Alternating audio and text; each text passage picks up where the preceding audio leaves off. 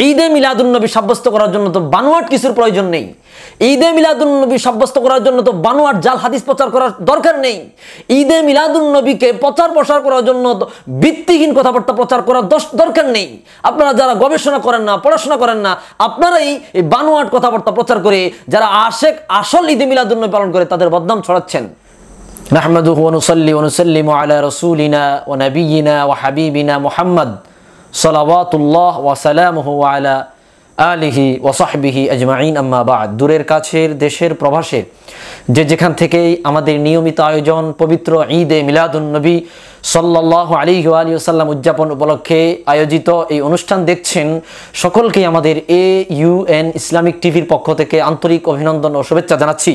আজকে ব্যতিক্রম ধর্মী এ পর্বে ইনশাআল্লাহ আলোচনা করার চেষ্টা করব। সম্মানিত হাজিরিন পবিত্র ঈদে মিলাদুন্নবী সাল্লাহ আলি সাল্লাম আমরা পালন করি। ঈদে মিলাদুন্নবী সাল্লাম আমরা আশেক রসুল্লাহ উদযাপন প্রতি বছর খুব জাকজমক। পূর্ণভাবে রসুল্লাহ শানকে ধুলন্ডি আপনার কি করে ধুলোকে ভুলোকে আমরা উড়াবার চেষ্টা করি। এটা আশেক রসুলদের অন্যতম একটা খাসিয়ত। ঠিক আছে? যেই আমলটি আমরাই করি না, যুগ যুগ আদা, যুগ যুগ ধরে বড় বড় ওলামাই কেরাম, বিজ্ঞ বিজ্ঞ আইম্মাই কেরাম, মুজতাহিদিন, বিভিন্ন হাদিস বিশারকগণ এর সাপোর্ট করে গিয়েছেন এবং তা তারা পালন করেছেন। কিন্তু দুঃখের বিষয়, অত্যন্ত পরিতাপের বিষয় হচ্ছে, এই ঈদে মিলাদুন নবীকে সাব্যস্ত করার জন্য একদল মানুষ, কিছু জাল, কিছু মাউজু, কিছু বানোয়াট, হাদিস, বিভিন্ন কিতাবের মধ্যে লিপিবদ্ধ করে আসল যারা আসলি ঈদে মিলাদুন্নবী পালন করে তাদের নামে বদনাম ছড়াচ্ছে। আমি তাদের কয়েকটি কথা বলার সম্পর্কে কিছু কথা বলব। আপনাদের সামনে একটি কিতাব দেখা যাচ্ছে। কিতাবটির নাম হচ্ছে আর নিয়ামাতুল কুবরা আলাল আলম ফি মাউলিদি সাইয়েদে ওয়ালাদি আদম। এই কিতাবটি লিখেছেন জগৎ বিখ্যাত মুহাদ্দিস, মুফাসসির এবং আশেক রসুল লিল ইমাম আল আলিমিল আল্লামা শিহাবুদ্দিন আহমদ ইবনু হাজার আল হাইতামি। এক কথায় ইবনু হাজার হাইতামি শাফি রহিমাহুল্লাহ এই কিতাবটি তিনি লিখেছেন। ওনার অফাত ইন্তেকাল শরীফ হয়েছে আটশত নিরানব্বই হিজড়িতে। সম্মানিত হাজরিন, এই কিতাবটা সুন্দর একটি রসুল্লাহ শাহানের উপর লেখা কিতাব। এই কিতাবের মধ্যে কিছু সাধু, অর্থাৎ কিছু নামদারি সুন্নিরা যে কোনোভাবে হোক কিছু বানোয়াট, কিছু মাউজু কথাবার্তা তারা ঢুকিয়ে দিয়েছেন এবং এটা প্রচার প্রসার করে যারা তারা সুন্নিদের বদনাম করার চেষ্টা করছেন। ঈদে মিলাদুন্নবী সাব্যস্ত করার জন্য তো বানোয়াট কিছুর প্রয়োজন নেই। ঈদে মিলাদুন্নবী সাব্যস্ত করার জন্য তো বানোয়াট জাল হাদিস প্রচার করার দরকার নেই। ঈদে মিলাদুন্নবীকে প্রচার প্রসার করার জন্য তো ভিত্তিহীন কথাবার্তা প্রচার করার দরকার নেই। আপনারা যারা গবেষণা করেন না, পড়াশোনা করেন না, আপনারাই এই বানোয়াট কথাবার্তা প্রচার করে যারা আশেক, আসল ঈদে মিলাদুন্নবী পালন করে তাদের বদনাম ছড়াচ্ছেন। এগুলো করবেন না। ঈদে মিলাদুন্নবী সাব্যস্ত করার জন্য আইম্মাই মুস্তাহিদিনের যথাযথ কৌল আমাদের আছে, আলহামদুলিল্লাহ, সেগুলো প্রচার করেন। এই কিতাবের মধ্যে দেখেন একটি অধ্যায় আছে পাসলু বায়ান ইফাদুল মৌলিদিন নবী সাল্লাহ আলি সাল্লাম এখানে দীর্ঘ করে চার খলিফা, চারটা হাদিস আনা হয়েছে। আমার এক প্রিয় ভাই, মাওলানা নুরুল হাসান তৌহিদ বাংলাদেশের প্রখ্যাত একজন আলমী দিন, সুপরিচিত বক্তা এবং বেশ ভালো আলেম, উনি আমাকে অনুরোধ করেছেন যে ভাই এই বিষয়ে একটা ভিডিও তৈরি করেন। আমি এই মহামান্য মহান আলেম ওনার ঘাতরতে এবং ও- ও- ওনার উপরে শ্রদ্ধা রেখে এবং ওনার কথাটা রাখার জন্য মূলত আজকের এই ভিডিওটা বিষয় নিয়েছি এখানে বলা হয়েছে দেখেন قال أبو بكر الصديق رضي الله عنه من أنفق درهما على قراءة مولد النبي صلى الله عليه وسلم كان رفيقي في الجنة আবু বকরের সূত্রে রাদিয়াল্লাহু তাআলা সূত্র হাদিস আহ, তিনি বলেন যে ব্যক্তি রসুল সাল্লাহ সাল্লামের মিলাদ পালনে এক দেড়খাম ব্যয় করবে রসুল সাল্লাহ সাল্লাম বলেছেন সে নাকি অর্থাৎ কানা রফিকি ফিল জান্না এ আবু বকর আল্লাহ আনহু বলে, সে নাকি কেয়ামতের ময়দানে জান্নাতের মধ্যে আমার বন্ধু হবে। এই একটা হাদিস। ওকাল অমর রাদিয়াল্লাহু আল্লাহ হনুমান আজমা মাউলিদান নবী সাল্লাহ ফকাত আহিয়াল ইসলাম। ওমর রাদিয়াল্লাহু আল্লাহ সূত্রে, তিনি বলেন যে ব্যক্তি নবী সাল্লাহ সাল্লাম মিলাদকে মহানতার সাথে পালন করবে, সে কেমন যেন ইসলামকে জিন্দা করল। ওসমান আদি আল্লাহ সূত্র কল, ওসমান আদি আল্লাহ তার মানাং কদির খান আলা কেরাত মৌলিদিন নবী সাল্লাহ আলি সাল্লাম ফাকান্নামা শাহিদা গজাদাবাদ্রিন ও হুনাইনিন। ওমর রদি আল্লাহ উসমান আদি আল্লাহ সূত্র তিনি বলেন, যে ব্যক্তি মৌলিদিন নবী সাল্লাহ সাল্লাম পালন করার ক্ষেত্রে এক দেড় ব্যয় করবে, তো সে কেমন জানি হনাইন এবং বদরের যুদ্ধের শহীদদের মতো মর্যাদা পাবে।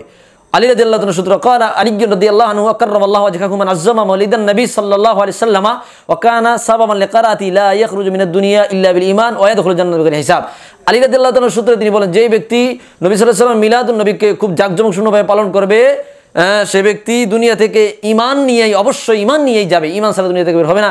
আর এই হিসাব ছাড়া সে আল্লাহ জান্নাতে প্রবেশ করবে। এই চারটা হাদিস আরও অনেক কিছু কিছু কথাবার্তা এখানে আছে। কিন্তু এই কিতাবটা একটা প্রসিদ্ধ কিতাব। এখানে কিছু জাল, মাউজু কথাবার্তা যে কোনো এক লোকেরা ঢুকায়া এই কিতাবটাকে সমালোচনার মুখে ফালিয়ে দিয়ে ফেলে দিয়েছে। এত সম্মানিত একজন ইমামের কিতাব।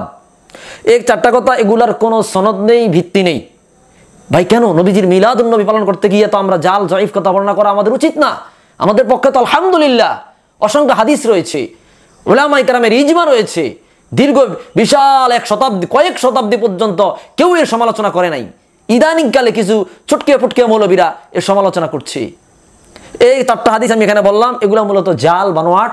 আসলে আবু বকর, ওসমান, ওমর রাদিয়াল্লাহ আলী রাদিয়াল্লাহ আনহুম ওনাদের থেকে এই ধরনের কোনো হাদিস সহি সনদে প্রমাণিত হয় নাই, দুর্বল সনদেও নয়। এটা কোনো বানোয়াট বা কোনো কিতাবে এর রেফারেন্স যদি কেউ পেয়ে থাকেন, ইনশাআল্লাহ আমাকে দিবেন, আমি স্যালেন্ডার করব।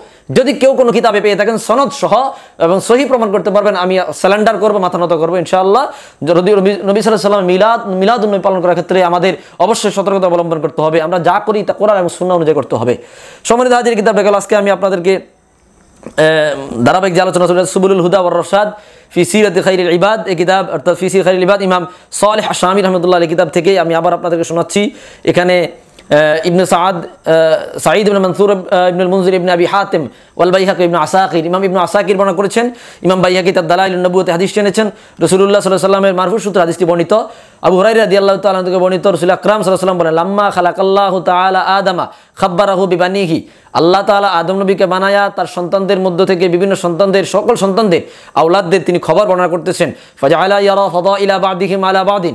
আল্লাহ তাআলা আদম নবীকে তার সন্তানদের বিভিন্ন সন্তানদের, নবীদের বিভিন্ন মর্যাদা তিনি দেখাইছেন।